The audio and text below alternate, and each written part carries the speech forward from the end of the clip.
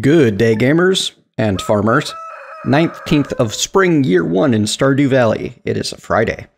We are going to check the weather for tomorrow.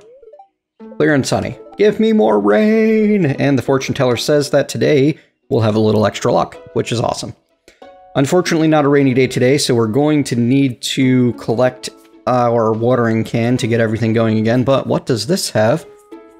Farmer Purple Mentat, I have a for, request for you. I need fresh cauliflower for a recipe I want to make. Can you bring me one? Oh, I forgot about this quest. We're going to accept that quest, but we're not going to be able to finish it until, well, it's going to be quite a while. Let's put it that way.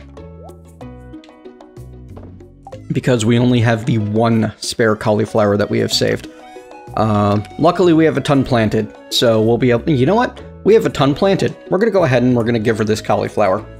Because I don't care. I don't mind waiting until the end of... I think I don't mind waiting until the end of spring to finish the spring crops bundle. But let me double check that before I say that for certain.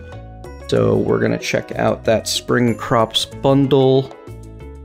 Uh, the reward for the spring crops bundle is nothing significant. Good. Okay, good. Yeah, we're to go ahead and bring her this cauliflower right away because the request will get us some rep with her as well as increasing our, um, I, I, it should be some gold as well.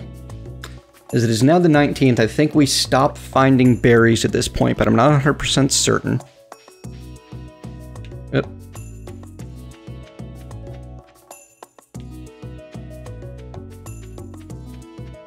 So, we can't collect our watering can until 9 a.m.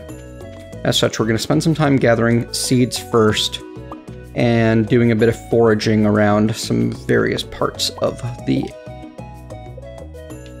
valley. Linus has gotten two gifts already. Good, good, good, good. Pet the kitty.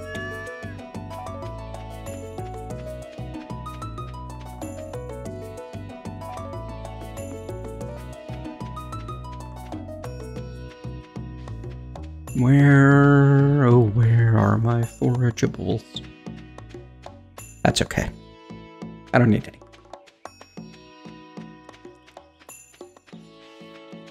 Hello, Linus. Please don't destroy my tent. Wow. Just double wow. That poor guy. Why would someone destroy his tent? It's just mean. Uh, it's 8 a.m. Okay. Not actually enough time to run over to the other side of the lake. There are a couple of forageable spawn points that happen on the other side of the lake, but we are getting close to opening time for the blacksmith.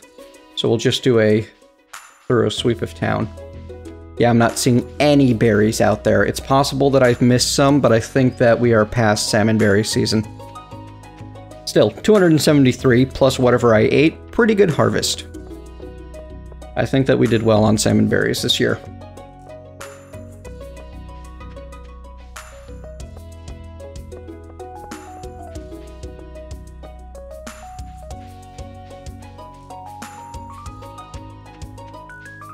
And it's open. Let's go ahead and um, forage the beach. Keep trying to say scavenge. Wow, nothing? Foraging is supposed to be better the day after it rains, especially on the beach. But instead we have one sea urchin and one mussel. Then again, foraging is less likely, you're less like, oh, one oyster. You're less likely to find good forageables as the month progresses. So,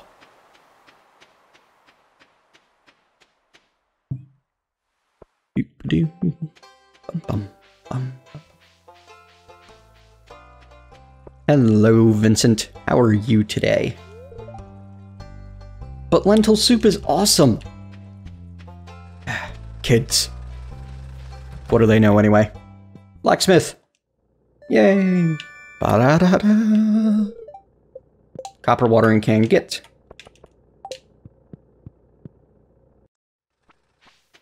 The great thing about the copper watering can is not necessarily, uh, it doesn't particularly hold more water, and it's not less energy to water one space, but I can water three spaces at the cost of, in that case, three energy. Hmm, I thought that it was at uh, an energy discount, but I may be wrong. Maybe it's not. All right, it is Friday. I am looking for Jodi. I don't remember which one Jodi is. Are you Jodi? You're Jodi. There we go. Mmm, yellow curry. And 350G, more importantly.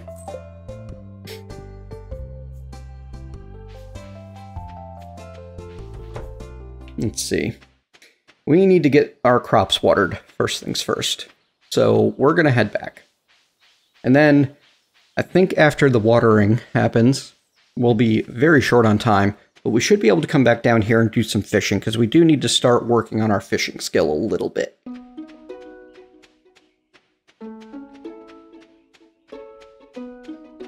And as I'm no longer reliant on the, um, what, are, what do you call them? Field snacks? I'm not going to worry about, uh, working on those, uh, on harvesting everything. Uh, that was four. That was four. That was three. That was four. So it looks like it's using three or four energy each time that is in fact an energy discount, because to water three spaces would cost six.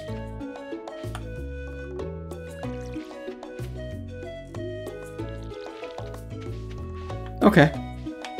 I'm going to count that as a win. We're going to be able to water things significantly faster and for less energy overall than we would be able to without the upgrade. That's assuming you don't make mistakes like that and accidentally screw up where you're watering.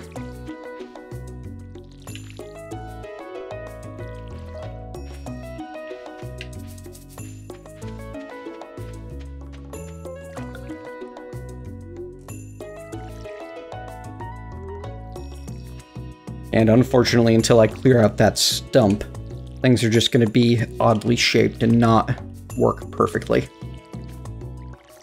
but that's fine. I can survive that.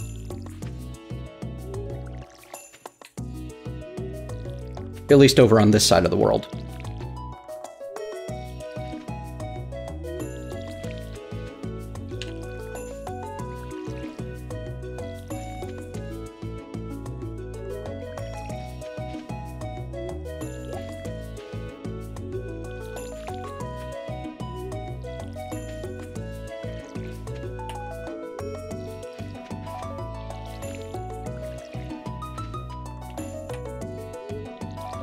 We're starting to feel exhausted.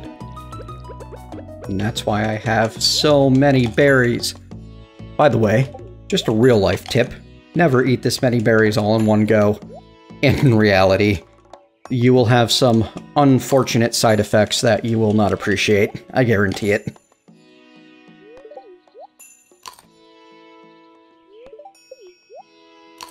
By which I mean like dozens and dozens and dozens of berries that are the size of your head.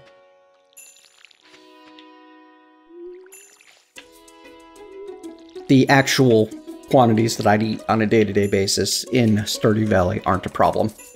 It's more of the representational quantity.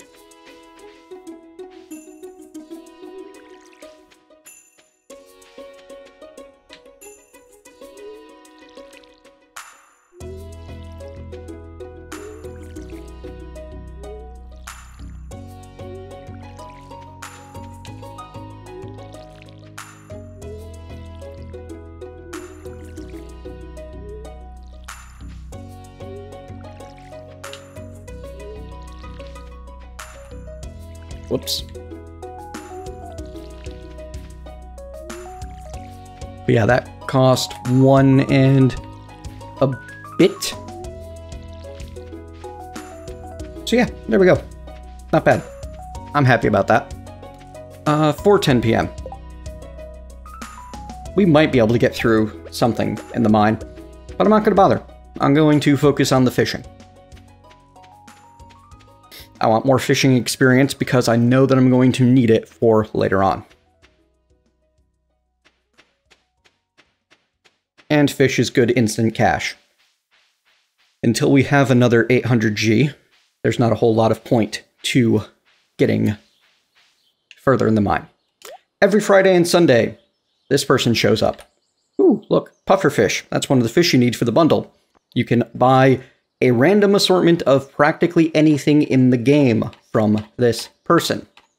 It's worth checking out what they have, and it's definitely worth getting a handful of rare seeds before fall. They usually have rare seeds available though, so I'm not too worried about it.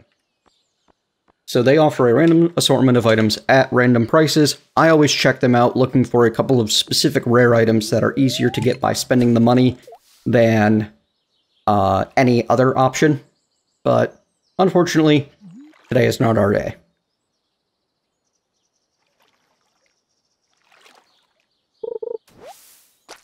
Wow, soggy newspaper. We catch the best things in this pond.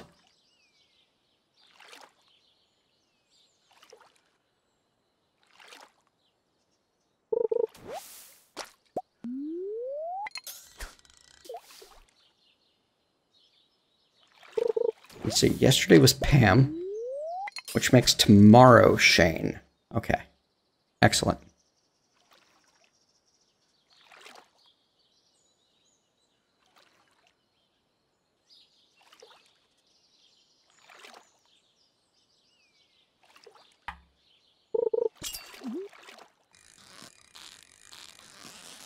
Smallmouth bass?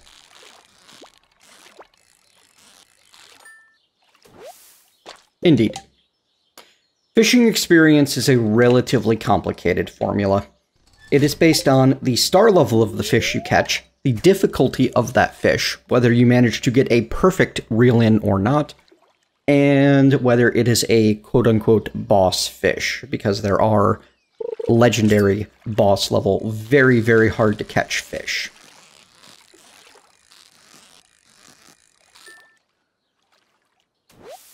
But bottom line is your best bet to get maximum fishing experience, yay, fishing level 1, is to come as close to that max cast as you can every time and try to get a perfect reel in.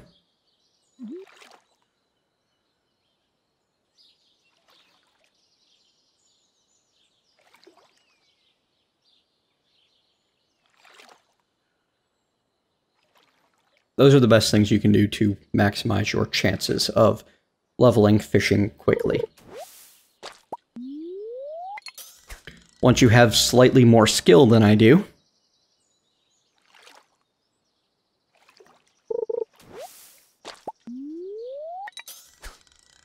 you can instead um, focus on harder to catch fish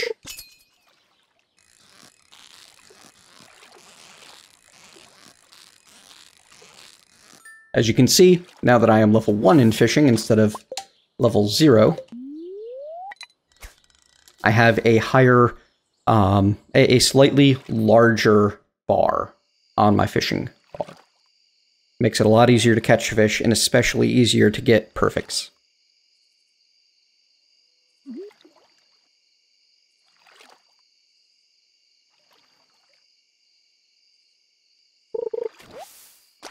Ooh, look at that. I don't know if I have enough fishing skill to reach it. But... Oh, it disappeared before I came down here. You want to keep your eyes open while you're fishing for pools of bubbles. They are fishing pools that will allow you to catch fish much, much faster. I saw one down here, but by the time I moved over here, it was gone.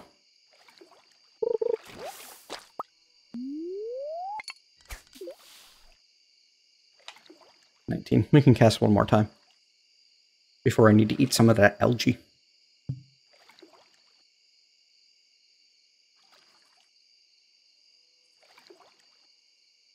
Now, you might be wondering if I saw something that's super useful like the puffer fish in the shop, why I didn't bother spending the money yet. Well, it's not useful enough to warrant taking 800G out of my summer props fund later on, it's a very common item. It'll show up again. Later on, 800G won't be that much of an issue. The only reason I'm bothering to check now is because I could end up getting something really awesome, like a sprinkler that covers a very large area. That would be worth spending the money on if I could afford it. Ooh.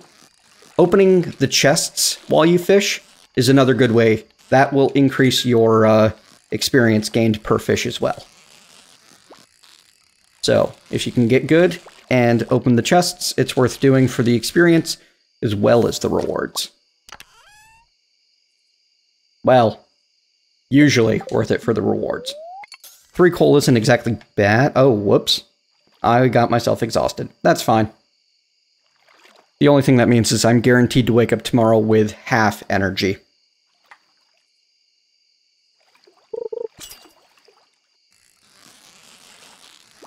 And that I shouldn't do much else or else I might pass out.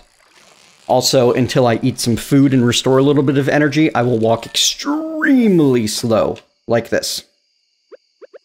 But I've got algae. Mmm, delicious green slime.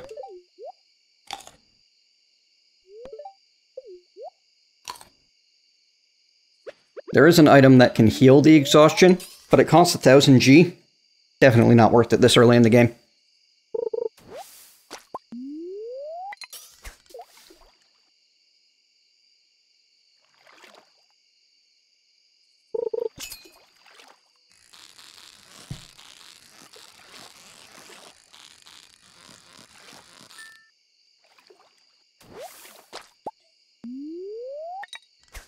PM. All right, we're going to make this cast and one more, and then we'll, we'll call it a night. I'm going to catch at least one more fish, though.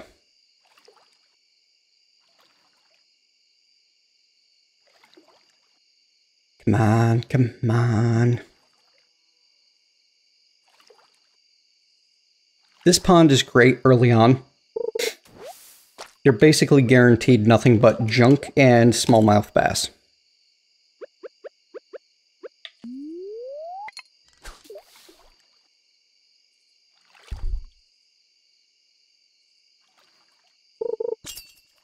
There we go. One last fish. And after this, time to head home, because I want to do a little bit of inventory management, make myself a fishing stuff chest before I head to sleep.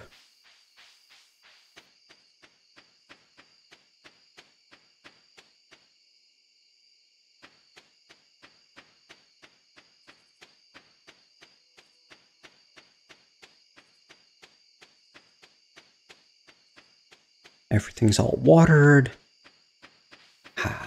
so happy to have the watering can. So incredibly, phenomenally happy to have the watering can. I, there aren't even words for how happy I am to have the watering can.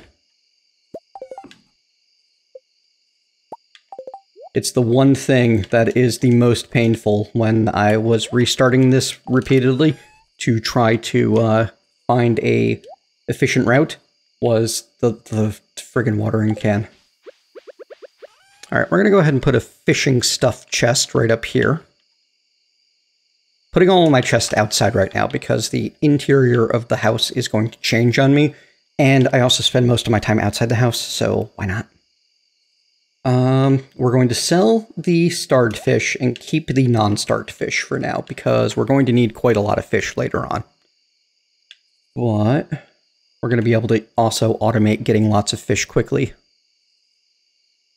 Let's see. We got green algae, sea urchin. Always keep your broken glasses. Those are worth it. And if you feel like gambling, it's worth keeping the soggy newspaper. I'm going to hang on to it because I don't mind gambling a little. And oysters. Oysters can...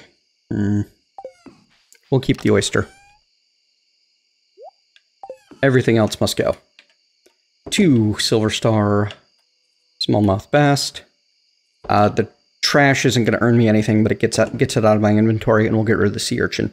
We'll hang on to the... Well, you know what? We'll ship one, just so it's been shipped once. But we'll hang on to the rest, just so that we can... Uh, that's right. Ship one of everything. Don't forget that.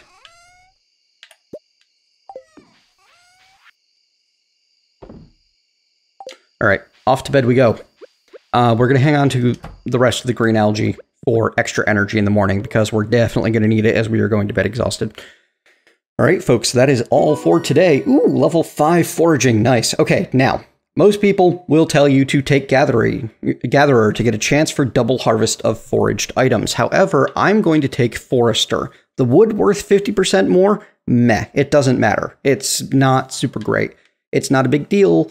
Um, the Gatherer can help a lot with earning money quickly, but the level 10 skills are based on what profession you choose at level 5. And if I take Gatherer, then I'm going to be locked into a choice between either a kind of a radar that shows me where foraging things are, or always getting gold quality foraging items, neither of which is super important to me. However, the Forester gives me a choice between having my tapped goods, the syrup, the pine tar, the oak resin, be worth 25% more, or being able to get hardwood out of chopping down regular trees. And getting hardwood from chopping down regular trees is worth picking foraging for me. I don't rely on foraging for my money. It's just not what I do. All right, folks, hope you've enjoyed today's episode. Ooh, look. There's a there's a little UFO flying by. What? Hope you've enjoyed today's episode. If so, leave me a thumbs up, tell me what you liked about it. If not, leave me a thumbs down and tell me what you'd like to see me do better. Either way, you want to see more of this series, please click subscribe below, and I'll see you next time.